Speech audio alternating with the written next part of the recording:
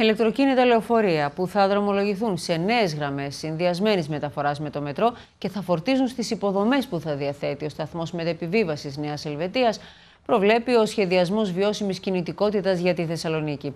Κατά την ημερίδα του Ευρωπαϊκού Έργου P4 Trans, που διοργάνωσε στο Δημαρχείο Θεσσαλονίκης η ερευνητική ομάδα συστημάτων μεταφοράς του Αριστοτελείου Πανεπιστημίου, επισημάνθηκαν ο καταλητικός ρόλος της πανδημίας στην αλλαγή των συνηθιών μετακίνησης, αλλά και η δυναμική στροφή των πολιτών στη χρήση των μέσων μαζικής μεταφοράς και εναλλακτικών μέσων μετακίνησης λόγω της ενεργειακής κρίσης. Η προσπάθεια είναι πώς θα πείσουμε τους πολίτες εδώ, ας πούμε, σε αυτό το έργο, να χρησιμοποιούν βιώσιμους τρόπους μετακίνησης.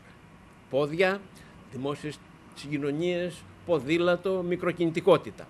Η εμπλοκή των πολιτών στους σχεδιασμούς για μια κοινωνία με χαμηλές εκπομπές διοξιδίου του άνθρακα είναι απαραίτητη για το μέλλον του πλανήτη. Η γνώμη των πολιτών είναι ό,τι σπουδαιότερο.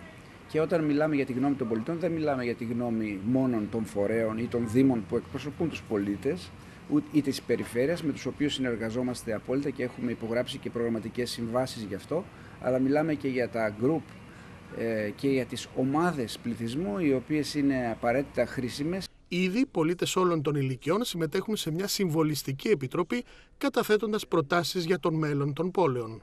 Έχει συσταθεί μια συμβολιστική επιτροπή στην οποία συμμετέχουν ε, ε, πολίτες ε, διαφόρων ηλικιών από διάφορες περιοχές, επίσης κάποιοι εκπρόσωποι ομάδων ενεργών πολιτών και αυτοί είναι οι οποίοι έμειναν και μέχρι το τέλος και είχαν και πολύ ουσιαστικές προτάσεις και σε αυτούς πιστεύω ότι πρέπει να δοθεί ιδιαίτερο βάρος σε μια ενδεχόμενη ε, διατήρηση της ζωής αυτής της Επιτροπής. Η μη χρήση του ΙΟΤΑΧΗ η χρήση εναλλακτικών μέσων μετακίνησης όπως είναι το ποδήλατο, η ολοκλήρωση του μετρό πολύ σύντομα, σε ένα χρόνο από, από σήμερα, όπως επίσης και η βελτίωση των αστικών συγκοινωνιών με την προμήθεια ηλεκτρικών λεωφορείων σε νέες γραμμές θα δώσουν όλα την εικόνα μιας πόλης πολύ πιο φιλικής προς το περιβάλλον.